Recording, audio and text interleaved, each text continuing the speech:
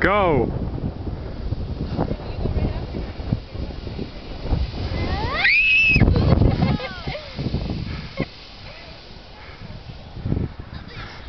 Okay, Noah.